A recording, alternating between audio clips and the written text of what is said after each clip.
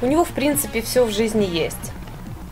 Папа и мама достаточно богатые люди. Папа владеет ресторанами, мама тренер по теннису.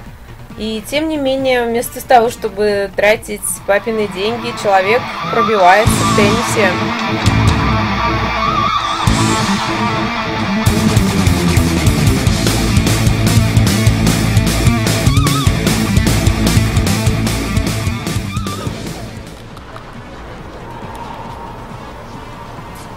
Если Андрей прибавит э, физической подготовки и скорости передвижения по корту, то по результатам он обойдет меня и Марата Сафина, написал Кафельников в своем твиттере.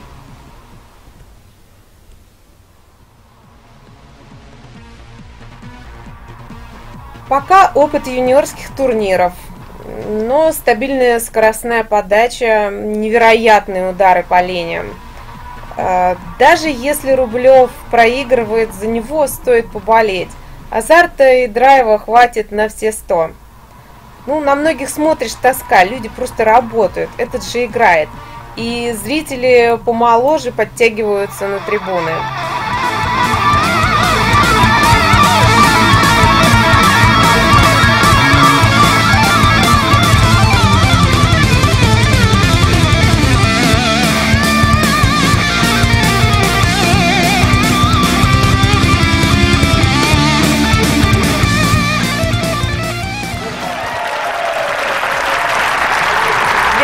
2015-м Андрей получает валдкарт на Ролан Гарос. Есть за кого поболеть?